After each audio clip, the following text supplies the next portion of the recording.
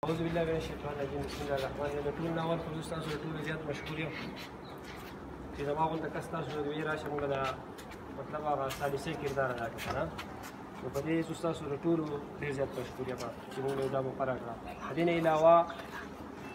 دا یو د شي شي نه دی چې یاره مطلب دا دی پلان کې وګټله او پلان کې وبایلله صحیح شوه دا د بایللو شی نه ده خو دا ګټلو والا به مخکې او دا بایللي چې ده دی به ورپسي ګټلو والا به مخکې کار کوي او دا ورپسي چې دی په ځان پسې راکاږي لکه څه د سیاسي یا څه د څه زموږ څه دغه نشته په یو بل سره خو صرف خبره د ګراونډ ده د کرکټ ده د د کلي د سپورټس ده دویم ریکوست به زما دا وي چې مهرباني به دا وکړئ چې کوم راتلونکی کابینټ دی که نه چې دا دا شی بره رجسټر کړي چې د دې قانوني څه حق پیدا شي که د هغې په باره کې څونه منډه تړله تاسو والی شئ نو هغه دې ووهلی شي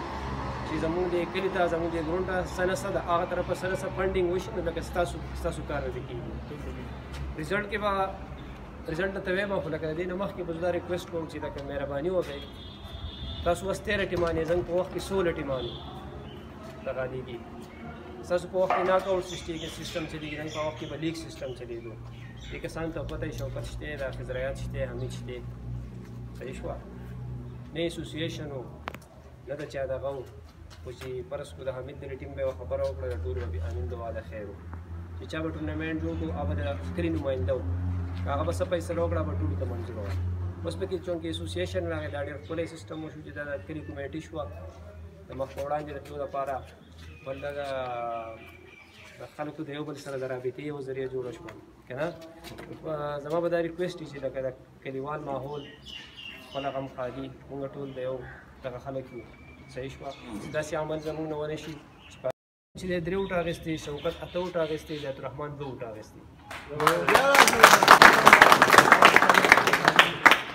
شوکت چې دی هغه ایز چرمین چې دی هغه منتخب شوی دی صحیح شوه نایب چرمین کې زموږ سره حضرت حسین او حمید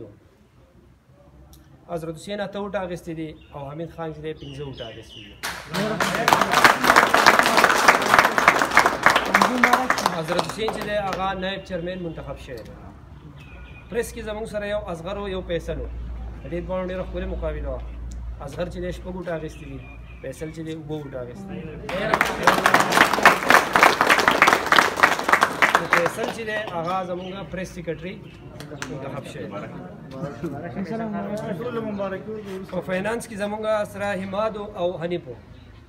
حماد چې د پنځه وټه اغستی حنیف قاری صاحب اته وټه اغستی حنیف قاری صاحب هغه فاینانس سیکرټری منتخب شوی دی سوشل میډیا کې زموږ سره وقار او زید حسین ول وقار علم درې وټه اغستې زید حسین لس وټه اغستې چې هغه ته تاسو ټول ته پته ده د جنرال سیکریټری په مقابله دا غي انتخاب د مخ